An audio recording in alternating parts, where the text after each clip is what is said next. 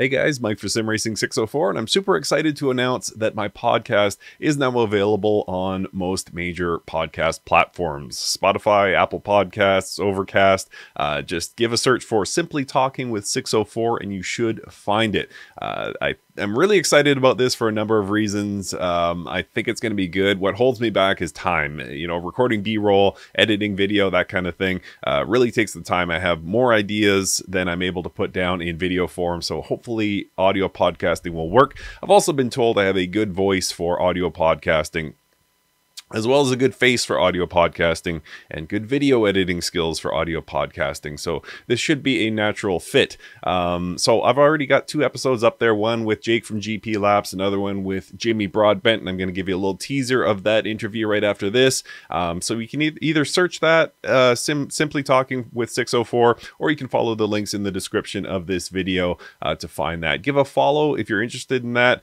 I'm planning on using the platform to do reviews, uh, to tutorials, that kind of thing. I've got a lot of exciting guests uh, coming up. Nobody I can talk about at this point, but uh, two confirmed that are super super exciting to talk to and i uh, can't wait for that so there'll be a lot more uh, with simply talking with 604 so uh, enjoy this teaser of my jimmy broadbent talk and uh, give a follow on your podcast platforms and enjoy how far do you think uh, sim racing will creep into the sort of sphere of real world racing? And let me give you some sort of context for how I came about this question.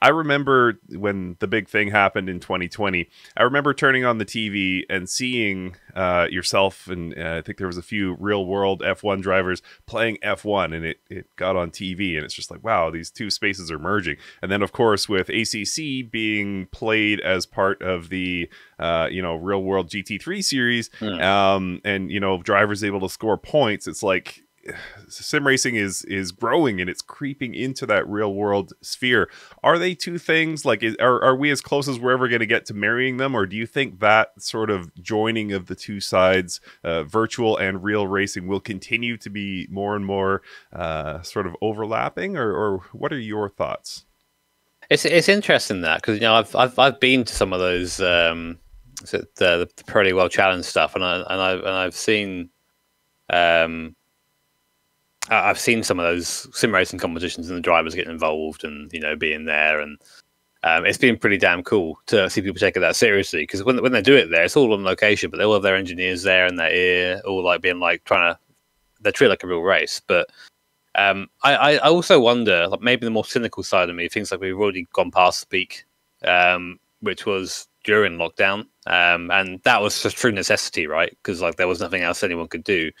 Um, in in my sort of in my experience, especially at the lower level in motorsport, like in the club racing that I've been doing, um, it's still very much a novelty. You know, still like, oh, you're the sim guy, are you? And then like you know, I, I went to a time attack round and someone gave me a sticker saying like, "Don't worry, I've done this before on the PlayStation." And I was like, I laughed. I thought it was funny, but it's that's sort of still like the attitude towards it right. in like the in, in the in the lower the lower things. But like, it's great to see F1 esports, for example, getting bigger and bigger and becoming its own thing. You know, um, same with um, with Gran Turismo when we do our events. You know, we have so many people turn up um, so many big names. I, I know we did. Uh, we had the one at Monaco. Of course, with Esteban on there, who I think was meant to be there. But then I turned around and Allan McNish was in the audience. And I'm like, what? Like, and I wanted to go talk to him, but I couldn't. It was sad.